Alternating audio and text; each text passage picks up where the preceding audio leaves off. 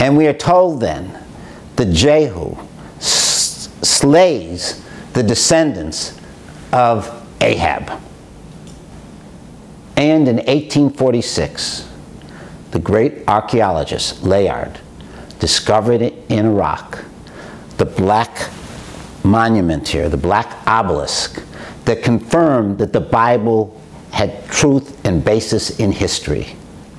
It is written on the black obelisk, I received tribute from Jehu, successor of Omri.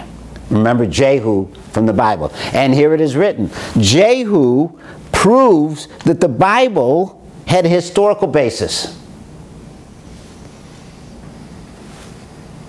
Now, it's also important to know what's going on at that very point in time. Very simply, Homer is writing the Odyssey and the Iliad, the Battle of Troy. And we're told in Kings that Jeroboam ascends to the throne.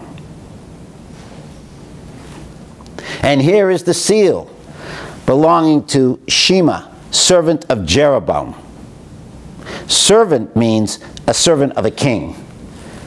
This seal, luckily a cast was made of it, was discovered at Megiddo, but they were transporting it to Istanbul and it was lost. At the very same time, what is happening in the world? Rome is founded in 753 by Romulus and Remus.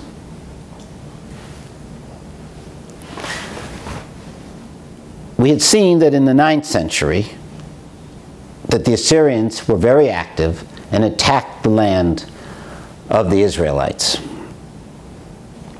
The period from 800 to 750, the first part of the 8th century is a quiet period for the Assyrians.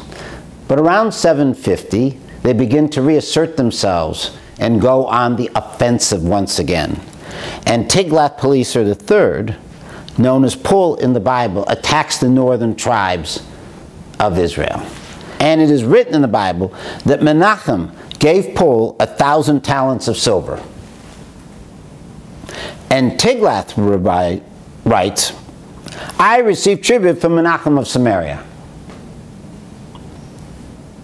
And then we know the story of the ten lost tribes, the northern kingdom, the Israelite tribes.